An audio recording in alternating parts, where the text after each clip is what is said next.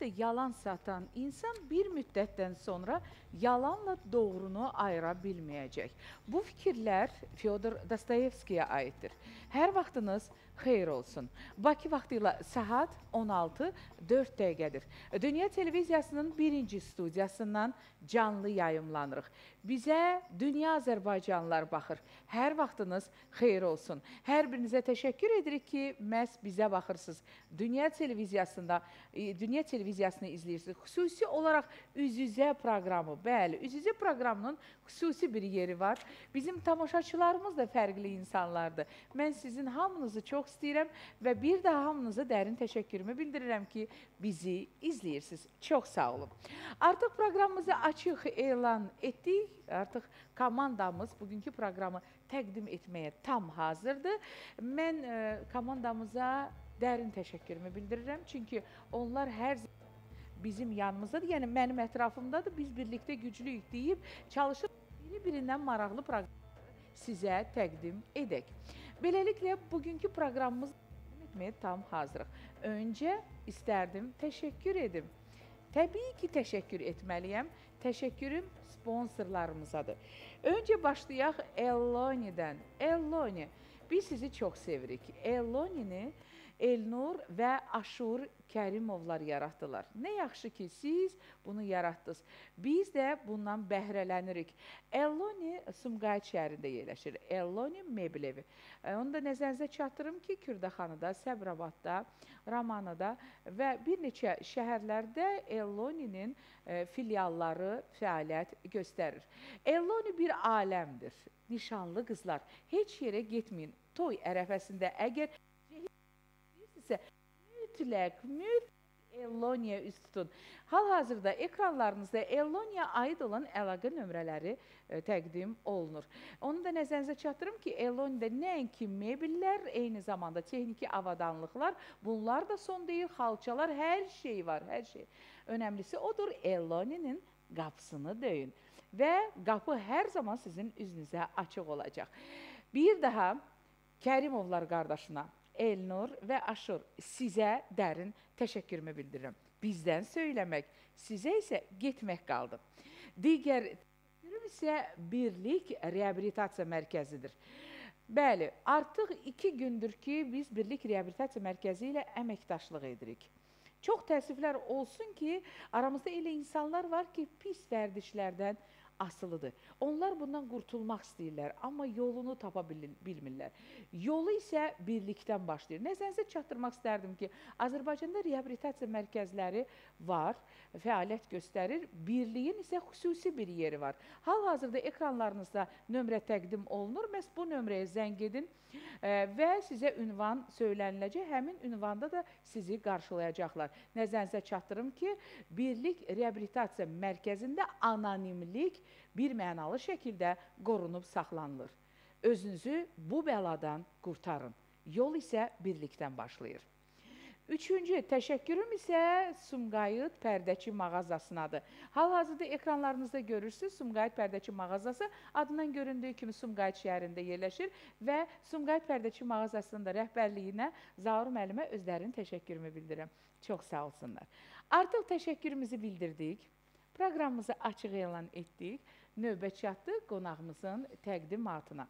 Qonağımız kimdir? Qonağımızı siz hər biriniz çox gözəl tanıyırsınız. Çünki ə, e, belə deyim, biz jurnalistlər hər zaman bir-birimizə dəstək oluruq. Bir-birimizə e, xüsusi bir yanaşmamız olur. Bugünkü efirimin qonağı da jurnalistdir, amma elə belə jurnalist deyil. E, proqramımız başlayarkən mən belə bir fikir söylədim. Özünə yalan satan insan vaxt gəlir, yalanla doğrunu ayıra bilmir. Nəzərinizə çatdırım ki, qonağımız ə, e, biz söyləyirik ki, yalanı sevmirik, yalanı sevmirik, amma o isə yalana bir mənalı şəkildə nifrət edir. Və salam. Bilirsiniz qonağım kimdir? Qonağım Azərbaycan Respublikasının əməkdar jurnalisti, İki Sahil qəzetinin baş redaktoru. İllərdir ki, illərdir ki, bu insan tanınır, gəlir. Xoş gördük sizi, xoş gördük. Tələsdiniz deyəsən. Elə bir buradaydı ona görə. Çox gözəl. Əyləşin. Vüqar. Rəhimzadə.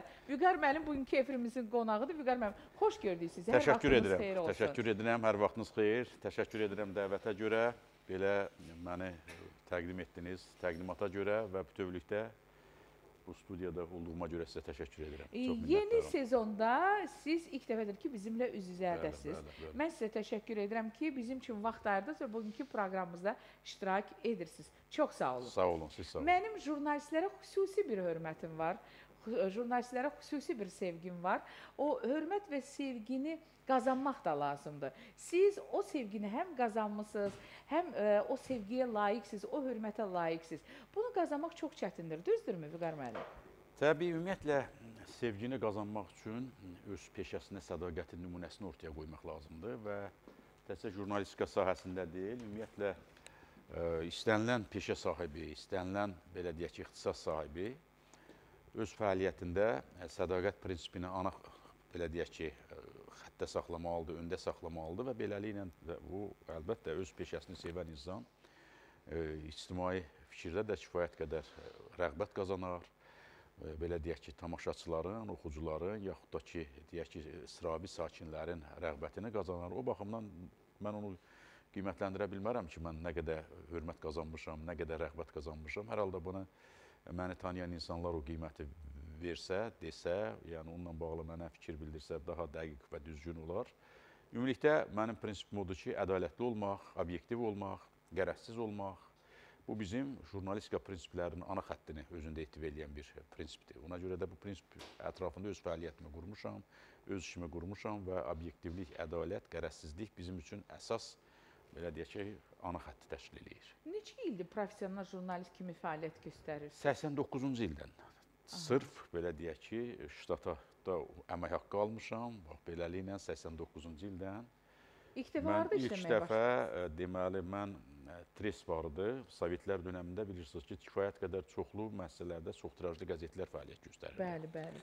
Ali təhsil müəssisələri, tutaq ki, Azərbaycan ə, AZI deyiləndi. Neft Kimya İnstitutunun vardı, deyək ki, neft kadrları uğrunda. Yaxud da deyək ki, Pedaqoji Universitetin vardı, ə, Gənc müəllim qəzeti. Bakı Dövlət Universitetinin öz qəzeti vardı. Yaxud da deyək ki, müəssisələrin Rabitə Nazirliyinin vardı Rabitə Dünyası qəzeti. Bizim də qəzet vardı.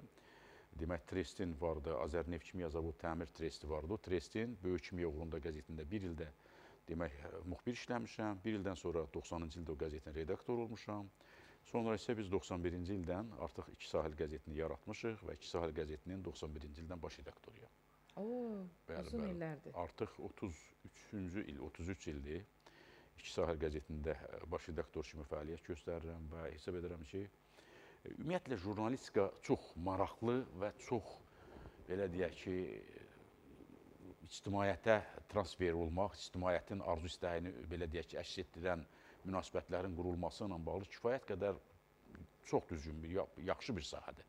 Jurnalistika, mən jurnalistikada olmağımdan qürur hiss keçirirəm, fəxarət hissi keçirirəm ki, mən elə bax bu xətti tutmuşam, bu sahədə fəaliyyət göstərmişəm. Mənim kifayət qədər dostlarım, kifayət qədər belə deyək ki, e, bugünkü gündə mənim Vüqar Rəhimzadə olmağımda mətbuatın müstəsna rolu vardır və mən əgər mən 90-cı ildə çox gözəl xatırlayıram.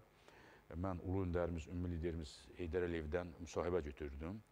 Hətta iki sahil qəzeti hələ yox idi o dönəmdə, o vaxtları və doğrudan da mənim üçün həyatımda ən yadda qalan və unudulmaz bir belə deyək ki, məqamıdır, anıdır və ə, ilk dəfə olaraq belə bir dahi şəxsiyyətlə təmasda olmaq, onunla söhbət etmək, onu belə deyək ki, üzbəüz görmək və onun arzu fikirlərini dinləmək mənim üçün çox önəmli idi, çox vacib idi və bilirsiniz biz mən o vaxta qədər biz gənc döv- dövrlərimizdə, gənc yaşlarımızda demək biz e, dahi şəxsiyyətin Heydər Əliyevin şəkillərini qəzetlərdə görmüşdük, televiziya ekranlarında biz onu izləmişdik, onun çıxışlarını, onun ümumiyyətlə görüşlərini, səfərlərini.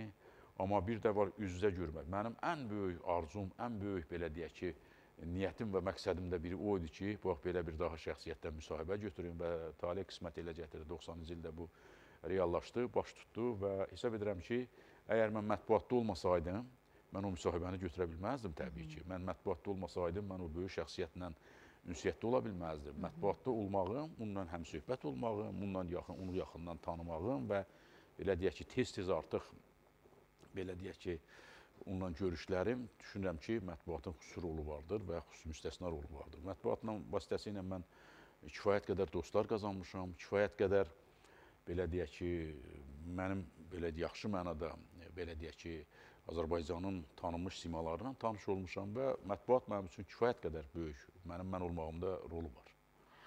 Vüqar müəllim, siz harda doğulmusunuz? Naxçıvanda? Mən Naxçıvan Muxtar Respublikasının Culfar rayonunun Saltaq kəndində mən doğulmuşam. Orta Kəndinizin məktəbi adını bir də söyləyin. Saltaq kəndi, Saltaq, Saltaq kəndi. kəndi. Siz axırıncı bir kənddə nə vaxt olmusunuz? Axırıncı dəfə mən kənddə olmuşam. Keçən ay, ötən ay olmuşam. Və mən ümumiyyətlə doğulduğum kəndindən tez-tez hər gün bəlkə böyük bir neçə dəfə əlaqə yaratmışam telefon vasitəsilə. Və e, bilirsiniz, e, mən artıq bir bir məqam yetişir ki, mən getmək bir də görürsən ki, məqamı yetişir. E, Gedirsən, bir gün niyə də olsa e, sənin olan doğma simalarla, sənin müəllimləri ilə, yaxud deyək ki, sənin sinif yoldaşları ilə olmuş, qonşuları ilə, sənə yaxın olan insanlarla təmasda olursan, sanki bir enerji yığırsan, bir güc yığırsan və yenidən dönürsən, öz işini davam elətdirirsən.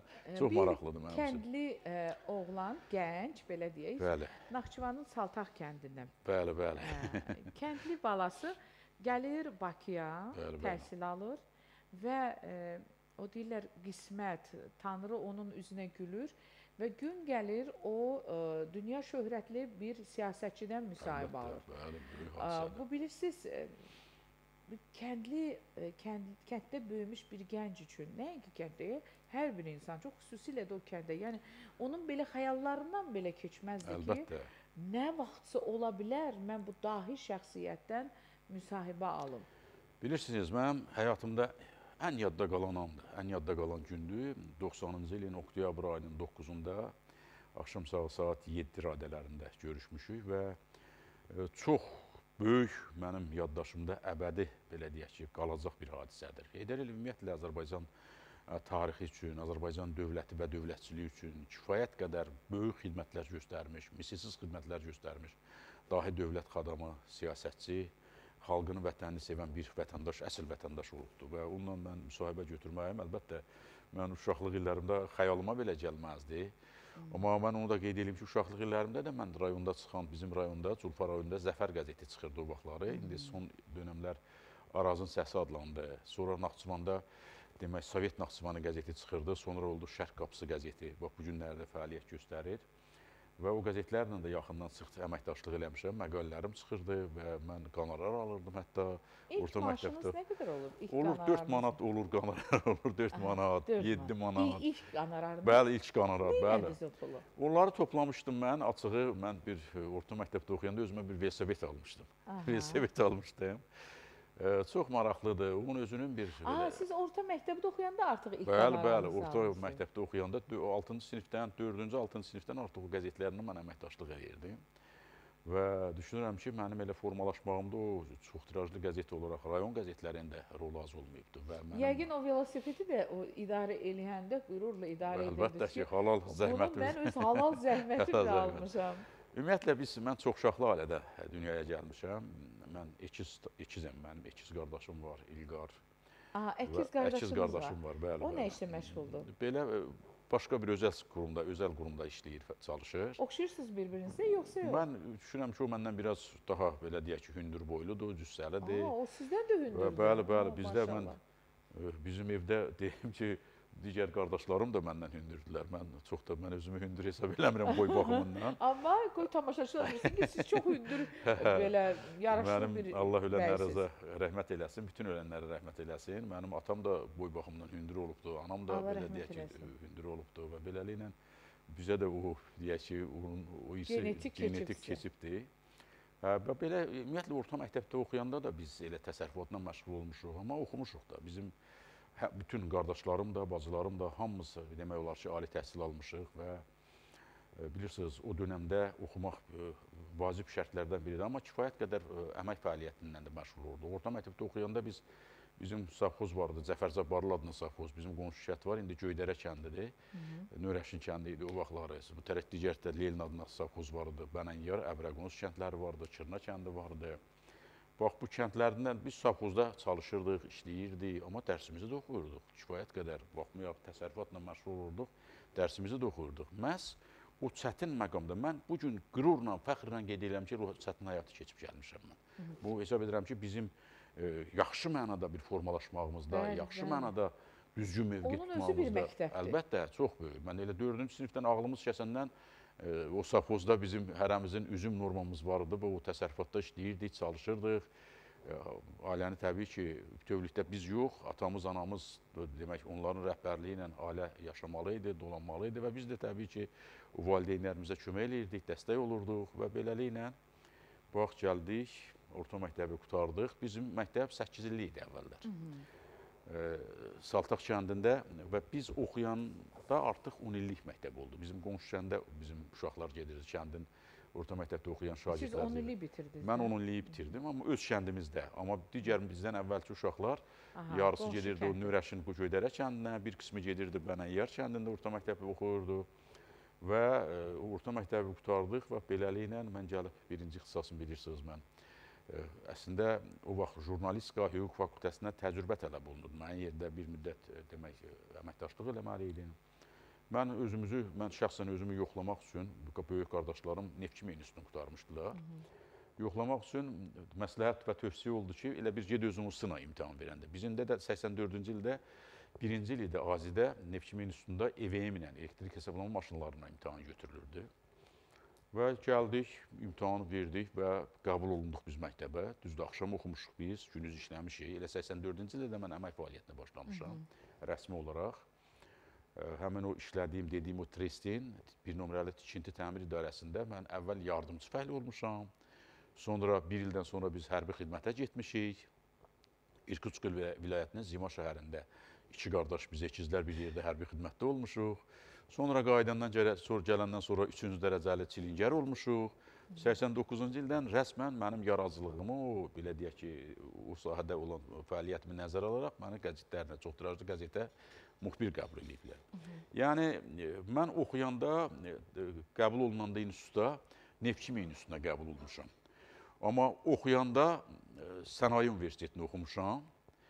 Qutaranda isə Neft Akademiyasını bitirmişəm. Yəni bizim oxuduğumuz dövrdə 3 dəfə o Neft Kimya İnstitutunun adında dəyişiklik oldu və bu gün də Neft və Sənaye Universiteti kimi fəaliyyətini davam elətdirir. Sonra ikinci təhsil Bakı Dövlət Universitetinin hüquq fakültəsini bitirmişəm. Amma mənim bütün e, yaradıcılığım med mətbuatla bağlı olduğuna görə həm fəlsəfə doktorluğumu, həm elmlər doktorluğumu və mən e, medianla bağlı, mətbuatla bağlı müdafiə eləmişəm və düşünürəm ki, mətbuat mənim həyatımda e, kifayət qədər önəmli, mənim mən olmağımda təsirə malik olan bir vasitə olubdur, bir e, sahə olubdur və bu gün də mən mətbuat sözümü təsəvvür eləmirəm. Vüqar müəllim, siz siyasətçisiniz yoxsa jurnalistsiniz? Vallah mən daha Bəlkə çox hüquqşünassınız? Yox, mən əslində hüquqi sahədə çalışmamışam. Düzdür, mən sevinirəm ki, o o sahəni o və çünki bir o mənalı təhsil şəkildə mən tədris almışam. Mənim bu gün də həm Slavyan Universitetində jurnalistika kafedrasının müdiri kimi, həm də dərs deyirəm. Mən orada dərs dediyim kimi, o dərsim də kütləvi informasiya vasitələrinin hüquqi tənzimlənməsidir. Yəni mən hökmən hüquqi təhsilim olmalıdır və hüquqi prinsipləri bilməliyəm. Jurnalistikanın ümumiyyətlə bu sahə ilə bağlı hansı qarşısında duran vəzifələr nədən ibarətdir onu bilməliyik və ona görə də hüquqşünaslıq mənim o baxımdan kifayət qədər böyük köməyimə çatır. Mən dərsimə getmişəm, oxumuşam yaxşı mənada hüquqi o ixtisasları, deyək ki, o sahənin o fənləri dərindən mənimsəmək üçün çalışmışam və bu gün də müəyyən mənada bir çox məsələlərdə mənim dadıma çatır, köməyimə çatır və düşünürəm ki, çox düzgün bir qərar vermişəm ki, ikinci təhsildə bu hüquq fakültəsində təhsil almışam. Ümumilikdə belə bir mənim sadəcə olaraq e, kimliyim və fəaliyyətim bax qısaca olaraq e, belə nəzər yetirəndə bundan ibarətdir. Bu gün artıq e, 33 Siz bu ildir. gün artıq ə, Azərbaycanda tanınan jurnalistsiniz. Mən demək olar Siz bu gün hə, üzr istəyirəm, artıq ə, jurnalist peşəsini seçənlərə müəllimlik bəli, edirsiniz. bəli, Universitetdə dərs deyirsiniz. Bəli, bəli. Ə, Siz ə, redaksiyaya rəhbərlik edirsiniz. bəli. Siz bir çox işlərə imza atmısınız. Ə, Eyni zamanda dövlət başçısı da sizin bu zəhmətinizi yüksək Çox qiymətləndirir. yüksək, bəli. Azərbaycan Respublikasının əməkdar jurnalisti kimi fəaliyyət göstərirsiniz. Sizin elmi dərəcəniz var. Daha nə istəyirsiniz? Gözəl Bilirsiniz- ailəniz var, övladlarınız var, sevən insanlar var. Nə istəyirsiniz e, daha? Birinci ümumiyyətlə mənim üçün e, başlıca şərt mənə göstərilən etimadı yüksək səviyyədə doğrultmaqdır. Harda oluramsa olum.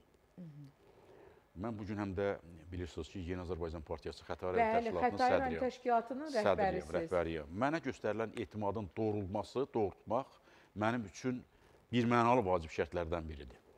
Mən böyük əslində e, mənə dəfələrlə həmişə sual verirdilər ki, ən böyük sizin arzu istəyiniz. Mənim üçün bu gün ən hər zaman ev olubdu, ən böyük nemət e, sabitlikdir, əminamanlıqdır. Əgər mənim ölkəmdə belə güclü inkişaf varsa, sabitlik varsa, uğurlu belə deyək ki, bu prinsiplər həyata keçirsə, elə mənim o güc mənim öz gücüm deməkdir. Fərdidən tutmuş ölkənin ümumi gücü deməkdir. Sabitlik varsa mənim demək olar hər rahat yaşayacağam, rahat fəaliyyət göstərəcəyəm, rahat dərsimi deyəcəyəm, rahat partiyada işləyəcəm, Yeni Azərbaycan Partiyasında yaxud da mətbuatda çalışacağam, fəaliyyət göstərəcəyəm. Bütövlükdə ə, ən böyük ölkəmizin, dövlətimizin qüdrətlənməsi və bilirsiniz bu günləri biz artıq 3 il, üç ildir ki, zəfər tarixini, zəfər Bəli. qəhrəmanlıq salnaməsinin o dönəmdən 3 il bizi ayırır və Müzəffər Ali Başkomandan möhtərəm cənab prezidentimizin rəhbərliyi ilə, Azərbaycan ordusunun gücü qüdrəti ilə Azərbaycan xalqının dəstəyi ilə Azərbaycan möhtəşəm bir tarix yazıb. Bu tarix doğrudan da bizim üçün çox qürurlu tarixdir və unudulmaz tarixdir. O tarix ki, təkcə 30 ilin o işğalına son qoymaq deyil, həm də 200 illik o belə deyək ki, bizim ərazimizdə göz dikmişlərə, dik, dikən o insanlara bir yumruq göstərildi və onların yeri göstərildi. Mən təbii bütün ə, şəhidlərimizin müqəddəs ruhları qarşısında baş əyirəm. Onları böyüdən valideynlərin qarşısında baş əyirəm. Mən qazilərimizə can sağlığı arzulayıram. Mən Müzəffər Ali Baş Komandanımızın qarşısında baş əyirəm ki, belə rəşadətli ordunun rəşadətli bir Müzəffər Ali Baş Komandanı kimi çox möhtəşəm bir tarixə imza atıldı və bu doğrudan da Azərbaycan tarixinin, Azərbaycanın ən möhtəşəm tarixidir. Bu günləri ölkəmizin qüdrətlənməsi bizim hər birimiz üçün vacib şərtlərdən, vacib qarşıda duran ən böyük hədəflərdən. Bu gün qüdrətlidir Azərbaycan. Amma bu qüdrət bu gün üçün, sabah üçün daha qüdrətli olması üçün çalışmalıyıq. Bəli. Və bu günləri Azərbaycanda kifayət qədər, təkcə regionda deyil, dünyada ən böyük siyasi sabitlik demək olar ki, Azərbaycanda mövcuddur. Və bu sabitliyin qorunmasında, sabitliyin daha da dərinləşməsi və daim olmasında hər bir fərddən, vətəndaşdan çox şey asılıdır. Nə asılıdır ki, biz o asılıdır ki, biz aparılan bu siyasətə, cənab prezidentin apardığı siyasətə dəstək olmalıyıq və Azərbaycanın daha yüksək zirvələr fəth etməsində öz töhfələrimizi verməliyik. Tamamilə doğrudur. Biraz öncə mən sizə sual verdim. Siz ə, Yeni Azərbaycan Partiyası Xətai rayon təşkilatının rəhbərisiniz. Bəli, bəli. Siz Azərbaycan Respublikasının əməkdar jurnalistisiniz. Bəli, bəli. Siz İki Sahil qəzetinin baş redaktorusunuz. Siz universitetdə dərs deyirsiniz. Elmi dərəcəniz var, fəlsəfə doktorusunuz. Elmlər doktoruyam. ə, Necə? Elmlər doktoruyam. Elmlər doktorusunuz. Bəli, bəli, bəli. Yəni bir-birinin ardınca bu siyahı gedir. Bir çox mükafatlar almısınız. Çox gözəl. Siz gözəl ailə başçısısınız. Övladlarınız var. Allah onları sizə çox görməsin. Bütün balları Allah qorusun. İndi sizə sual verirəm. Siz kimsiz? Jurnalistsiz, siyasətçisiz, Mən- müəllimsiz, adi vətəndaşsız, kimsiz siz? İlk öncə mən sadə sadəcə olaraq Vüqar Rəhimzadəyəm. Vüqar Rəhimzadə. Ən böyük bizim Vüqarlı Vüqar Rəhimzadə. Vüqar Vüqar Rəhimzadə və ən böyük missiyamız bizim vətəndaşlıq missiyamızdır. Bu bir mənalı belədir. Biz harda oluruqsa olaq, bir vətəndaşlıq mövqeyi bizim üçün vacib prinsipdir, vacib şərtdir. Mən əlbəttə ki, mənim belə deyək ki, düşüncəm, ağlım kəsəndən, düşüncəm və mən Heydər Əliyev siyasətinə daim dəstək olmuş və Heydər Əliyev siyasəti ilə daim yaşamış bir insanam və bu gün də belədir və bu gün də bu siyasəti uğurla həyata keçirən möhtərəm cənab prezidentimizin həyata keçirdiyi bütün işlərin yanında olmaq, ona dəstək olmaq bir kiçik də olsa bir vətəndaşlıq missiyasını yerinə yetirmək mənim üçün qürurludur və mən bilirsiniz ki, Yeni Azərbaycan Partiyası yarandığı gündən 92-ci ilin noyabrın 21-dən bu partiyanın siyasi şurasının üzvü olmuşam ilkdən. Ondan öncə isə o ulu öndərimizə müraciət eləmiş 91-lərdən mən biriyəm, ən gənciyəm. Və hesab edirəm ki, ümumiyyətlə insan e, yaşadığı, fəaliyyət göstərdiyi ictimai siyasi mühitdə istər-istəməz o sferanın, o mühitin təsiri insanın xarakterinə də oxur və mən Aha. o birmənalıdır. Amma sənin digər o istiqamətdə fəaliyyətin və qəzet, məhdud jurnalistika sahəsində bu mənim hobbim, çox vacib mənim yaşam tərzimdə eyni zamanda. Amma siyasi mənsubiyyət, mənim Yeni Azərbaycan Partiyası mənim həyatımın çox böyük hissəsidir. Mənim e, 56-57 yaşın içindəyəm və bunun 31 ilini mən bu Yeni Azərbaycan Partiyası ilə həyatım mənim bağlıdır. Yarısından çoxu bu həyatıma bu Yeni Azərbaycan Partiyası ilə bağlı olub və özümü partiyasız təsəvvür edə bilmirəm və eləmirəm də. Və belə bilirsiniz, pedaqoji fəaliyyət öz yerində bu mənim bir e, belə deyək ki, həm də elmi pedaqoji fəaliyyət mənim bir qoldur, sahədir, missiyamdır. E, Mən ondan da zövq alıram bu fəaliyyətdə. Slav Bakı Slavyan Universitetində kafedra müdürüyəm, həm də tədris eləyirəm. Bəli, bu mənim həyatımda ən başlıcası sadəcə bir vətəndaş Vüqar Rəhimzadə kimi özümü hiss Amma bax, edirəm. ə, əbəs yerə mən onları sadalamadım. Kafedra Bəli, bəli. ə, elmlər, elmi dərəcəniz, hər şey yüksəkdir, amma sadəsiz. Çox Əlbəttə, sağ sadəsiz. sağ olun. Bəlkə də sizi sevirəm məhz bu sizin sadəliyinizdir. Səmimiyyətinizdir. Sizin rəhbərlik etdiyiniz ə, həm iki sahil ə, televiziya var, həm də ki qəzet Qəzet var. Ə, inanın ki, o sizin rəhbəriniz altında çalışan o gənclər ki var, onların da sizə olan münasibəti mən görmüşəm. Yeri gəlmişkən dünən sizin bir işçinizlə görüşdüm və dedim ki, Sabah Vüqar müəllim sizin rəhbəriniz. Ay nə gözəl, gözəl insandır. Nəsə sizi çox istəyirlər. Sağ olun. Hamı istəyir. Mən də onları çox, xətirlərini çox istəyirəm və Hamı ilə dil tapırsınız. kiçik kollektivik və gərək harda olursansa olasan, ə, mehriban olmaq lazımdır. Belə deyək ki, ümumi e, prinsiplərlə işçinin daxildə bir Aha. e, qüsuru varsa, onu açıq və tam səmimi şəkildə ona Aha. ifadə etmək bu daha yaxşıdır. Kənardan təbii ki, Düzdür, düzdür. Ə, İnanın ki, mənim o qədər sualım var. İstəyirəm hamısına o sualları verim. İmkan daxilində suallarımızı biraz elə cavablandıraq ki, hamısına vaxt çatsın. üstə. Əşi, hər dəfə olmur ki, Vüqar Rəhimzadə ilə yox. olursan. Çox Bu mənim üçün böyük ə, fəxrdir. Olun, Vüqar müəllim, siz söylədiniz hansı kənddənsiz? Culfa rayonunun Saltaq kəndindən. Saltaq kəndindən. Söylədiniz Saltaq kəndində tez-tez olursunuz, düzdürmü? Sinif yoldaşlarınızla görüşürsünüz. Əlbəttə görüşürəm. Bilirsiniz, Misal üçün, onların bir neçəsinin adını çəkə bilərsiniz. Aqildir, Kazımdır, Abuzərdir, Aydındır. Kiməsə zəng edə Sonra bilərik. Bəxtiyardır. O mənim telefonum maşındadır, avtom orada əlbəttə olar, mümkündür. Hə, zəhmət olmasa Vüqar müəllimin telefonunu gətirin, biz onun sinif yoldaşlarından birinə zəng edəcəyik. Zəhmət olmasa gətirin. Askımı da gətirsin, askı Hə. eynəyimi də gətirsin.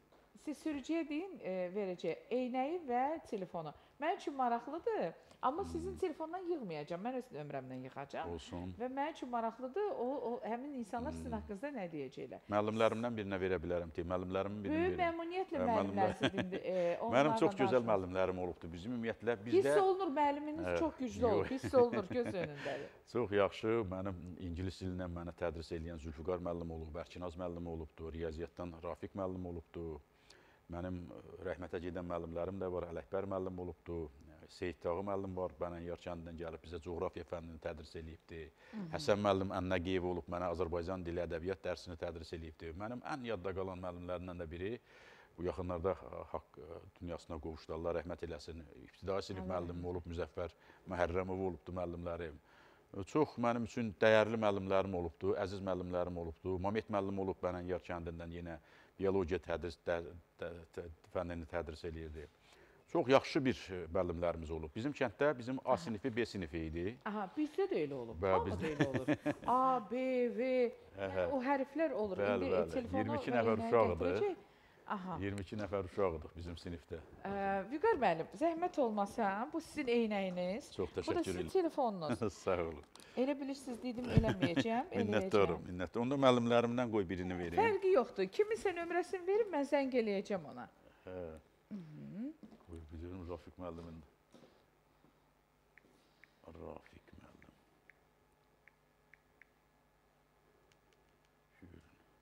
Aha. Demək Deyim, bu, baxım qoy yazım da mən. 51 Mhm, bir dəqiqə. Sonra bir dəqiqə. Aha, 478 53 Hə. Güya eşitmədilər. İkinci, bizi. hə, ikinci nömrədə. E, Bir dəqiqə 478 53 74. Bəli, bəli. Aha. Bunun adı nədir bu müəllim? Rafiq müəllim. Bizim riyaziyyat müəllimi bir müddətdə Görən baxırlar bizə. Yəqin ola bilər baxsınlar. İndi ola bilər kənd Aa, yeridir. telefon zən e, məşğuldur. Hə, demək indi bir birazdan yığasız. Yəqin Aha, yığacam. Hə, Məşğuldur telefonumuz. qoy görək. Gəl o, o birisi nömrəni yığaq. Vaxtı itirmədin. 70. Bir dəqiqə. 51 ilə daxı. Hə, Ha, bir təkrar hə, altdakı da 2 nömrədir. Aha, 70 360. 45 30. Bu kimdir? Bu da Rafiq müəllim deyil, həmin müəllimdir ki. Rafiq müəllimin 2 dənə telefonu var. Maşallah olsun ha. İndi görünür. Oh, mobil şəbəkələrə uyğun Hə, nömrələr var. maşallah olsun. Hə, Görək elə. Telefon çağırır. Rafiq müəllim neçə yaşı var? Olar bir 60-dan 63, 65. Alo. Salam əleykum. Tamam. Rafiq müəllimdir. Bəli, bəli. Rafiq müəllim necəsiniz? Sağ olasınız. Siz hardasınız? Saltaqda. Ha, Saltaqda vəziyyət necədir? Havalar necə keçir? Çox şükür Allah. Kiminlə danışırız? Ə, Sizinlə danışan Könül Həbib qızıdır. Dünya Müstəqil Teleradio şirkətinin baş aparıcısı. Buyurun, buyurun. Hə, siz Dünya televiziyasını izləyirsiniz ümumiyyətlə? İzləyirik. Hə, lap yaxşı. Onda əgər izləyirsinizsə, siz məni görmüsüz efirdə. İndi hal-hazırda e, yanınızda televizor varmı? Xeyr, yoldayım, maşındayım. Aa, siz maşındasınız. Aha. Ə, mənə dedilər ki, sizin çox ə, belə çox yaxşı müəllimsiniz və sizin yaxşı tələbələriniz, şagirdləriniz var. Düzdürmü? Yəni bilim kimdə deyil. Hə, məsəl üçün kimin adını çəkərdiniz? Çox, nə bilim, mən 44 il müəllim olmuşam. Allah sizə ömür versin. Hə, onlardan bir neçəsinin adını çəkin, hansı ki respublikada tanınan insandır. Sahil qəzetinin redaktoru. Aha, Vüqar. Rəhimzadə. Hə, Vüqar müəllimlə axırıncı və nə vaxt görüşmüsüz? Vüqar telefonlaşırıq, axırıncı dəfə. Axırıncı dəfə bir e, ay, yarım, iki ay olar bilər. Vüqar müəllim sizə dəstək olur Nə barədə? hər barədə. Mənəvi dəstək Allah, mən. Hə. Ə, Sizin nəyisə ehtiyacınız varmı? Yox, şükür Allah. Allah sizlərin canını salamat eləsin. Vüqar müəllim uşaq ikən necə tələbə olub, necə şagird olub? Çox yaxşı. Prinsipal, ağıllı, tapşırıq yerinə yetirən. Aha. Onlar onlar ikiz qardaşlardır. Vüqar müəllimlə İlqar adlı qardaşdırlar. Aha, aha. Ə, Vüqar daha çox aktiv idi yoxsa İlqar? Vüqar aktivliyini bildirirdi. Aha. Siz onu efirlərdə görürsüz də, yəqin izləyirsiniz. Əlbəttə, əlbəttə. Hə. İndi sizin nəzərinizə çatdırım. Qonşuluğumuz da Bəli. Necə? Qonşuluğumuz da çatır həm də. Hətta siz qohumsuz. Aa, belədir. Demək belə, sizə nəzərinizə çatdırmaq istərdim ki, Vüqar müəllimi dəfələrlə siz efirdə görmüsüz bu öz yerində.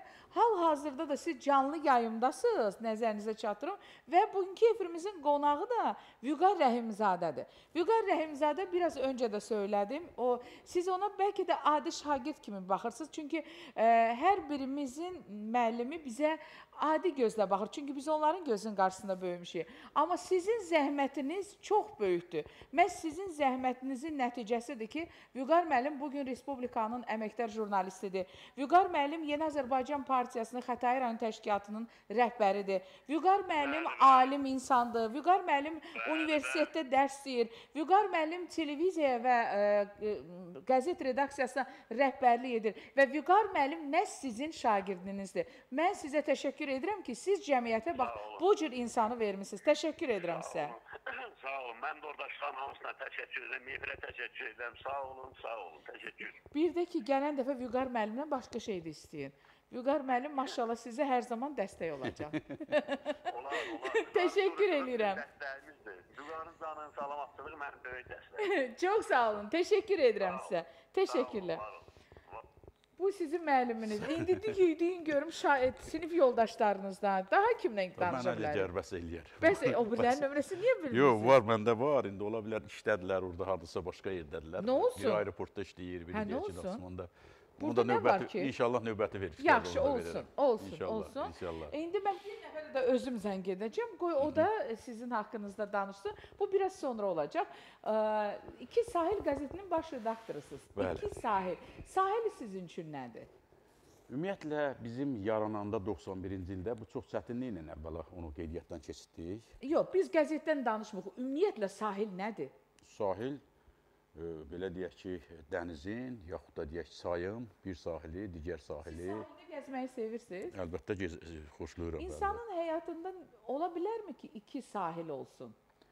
çətin, Aha. çətin düşünürəm ki, insan elə bir mövqedə olmalıdır, bir sahildə olmalıdır və belə mən düşünürəm ki, Təsəvvür ola bilər. bir sahil Amma sağdadır, bir sahil soldadır. Soldadır. Hansı sizə daha yaxın olar? Sahil sağda olan sahil yoxsa solda olan sahil? Hər halda ürək tərəfdə olan daha yaxın, İndi mənə bu cavab verəcəksiniz. Bir- daha yaxın olar. Hə. Qələmin sizcə ə, qiyməti nə qədərdir?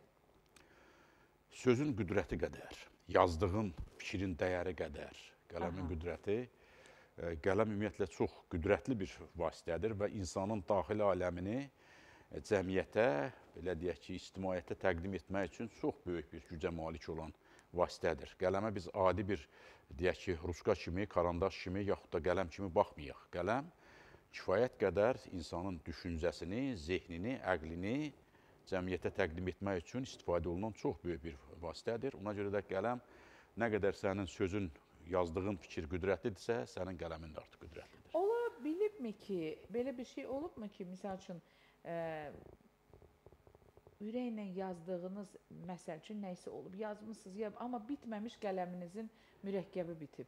Ola bilər, belə hallar olur Bəs və nə edirsiniz? yox, Qələmi onda təbii ki, yox, dəyişmək öz Yoxsa yerində. fikri dəyişirsiniz? Fikri dəyişə bilmərəm. Fikir əbədidir. İnsanın düşündüyün sənin beynində səninlə həmişə yol yoldaşı olan bir belə deyək ki, bir belə deyək məfhumdur. Səndən həmişə bir yerdədir. Qələm ola bilər dəyişilsin texniki baxımdan.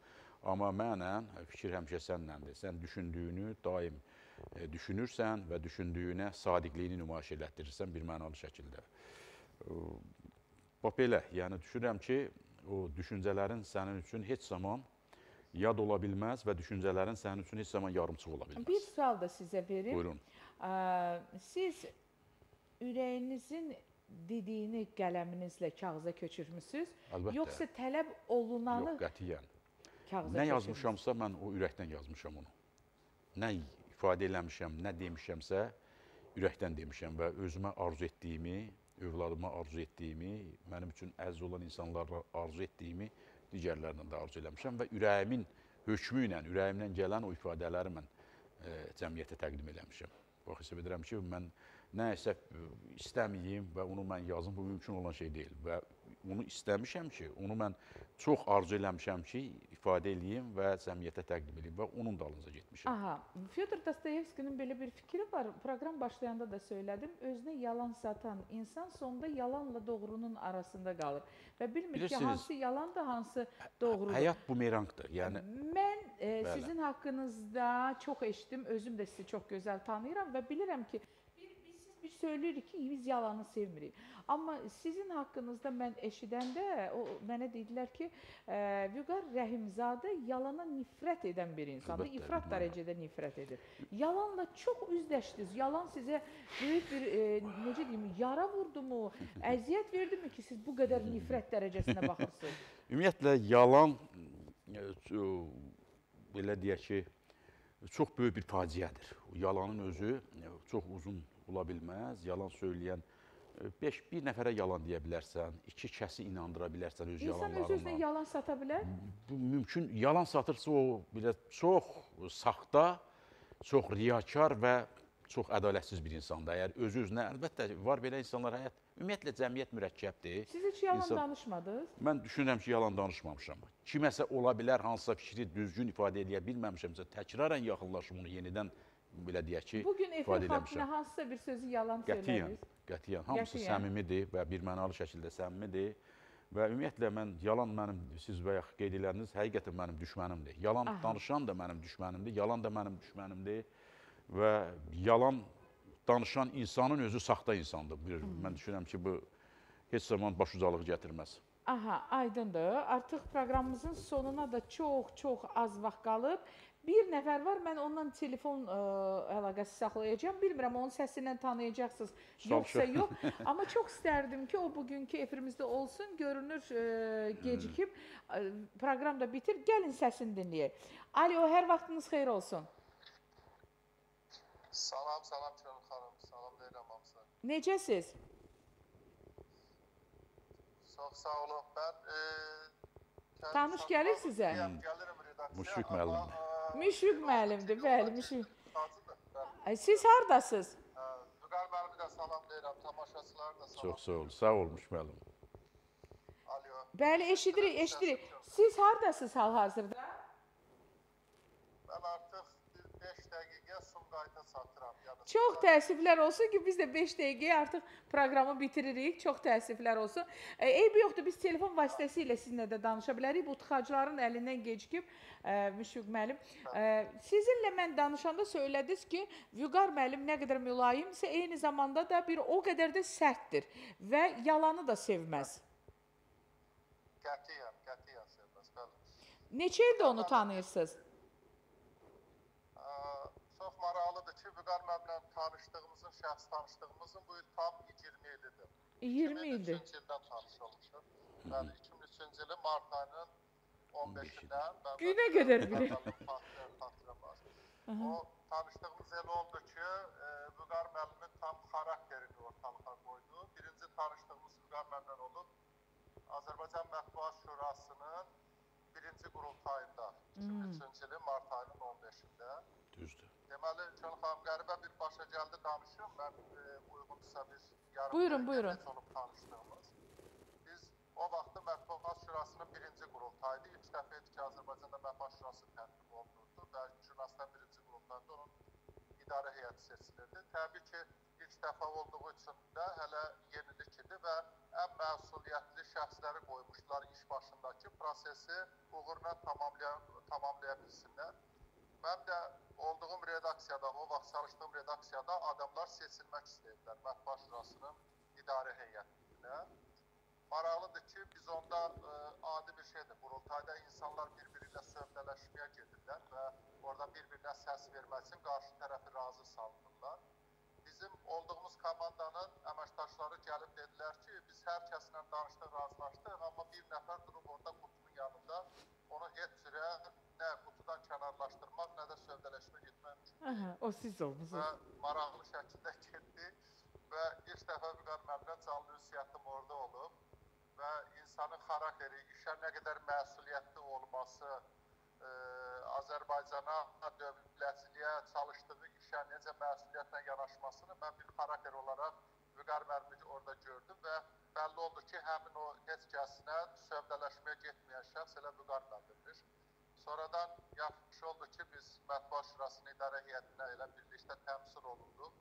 E, Yavaş-yavaş səfərlərdə olduq, yoldaşlıq etdik və e, bir-birimizin xarakterini yaxşı tanıdıq və bəlli oldu ki, elə birinci gündən necə tanımışamsa, Vüqar müəllim insan kimi mülayim, dost kimi çox etibarlı, Azərbaycanlı kimi vətənsevər, eyni zamanda Çox sağ olun. xarakter baxımından da işinə kifayət qədər məsuliyyətli. Çox sağ olun, çox sağ olun Müşfiq olun, Artıq efir vaxtımız da bitir. Çox sağ olun, təşəkkür edirəm. E, dəqiqə yarımımız var. Mən sizə dərin təşəkkürümü Siz bildirirəm. sağ olun, çox siz sağ sağ olun. olun. Çox təəssüflər olsun ki, bizə ayrılan efir vaxtı da sona çatdı. Sonda bir sual verin. Bir qələm verilsəydi və bir kağız parçası Allah sizə ömür versin. Deyilərdi ki, bu kağız parçasında bir söz yazın və hər şey də bitir. Hər şey bitir. Bir cümlə yazardım. Nə yazardınız? Mən bu vətəni sevirəm. Mən də bu vətəni sevirəm, sizi də sevirəm. Təşəkkür edirəm. Vüqar Rəhimzadə idi qonağımız, Azərbaycan Respublikasının əməkdar jurnalisti, iki Sahil qəzetinin baş redaktoru, e, Yeni Azərbaycan Partisi e, Xətai rayon təşkilatının rəhbəri və s. və s. və s. Ən önəmlisi odur ki, Vüqar Rəhimzadə bizim Təşəkkür edirəm, dəyərlimiz. Sonda mən istərdim sponsorlarımıza təşəkkür edim. Eloni sizə təşəkkür edirəm mənim əzizlərim, dostlarım. Çox sağ olun. Eloni, Eloni bir aləmdir. Eloni gözəllik məkanıdır. Elonini xanımlar daha çox sevir çünki rahatlıq məhz Elonidədir. Digər e, təşəkkürüm isə e, Sumqayıt pərdəçi mağazasınadır. Zaur müəllim, sizə də dərin təşəkkürümü bildirirəm. Çox sağ olun. Əlaqə nömrə də təqdim olunur. Və növbəti təşəkkürüm isə Birlik Reabilitasiya Mərkəzidir. Deyim ki sizə hər bir insan həyatında qara ə, xətt olur. Bu qara qara xəttdən qurtulmaq lazımdır. Biz e, vərdişlərdən uzaq olmaq lazımdır və bu yolda sizə Birlik Reabilitasiya Mərkəzi hər zaman dəstək olacaq. Anonimliyiniz də qorunacaq.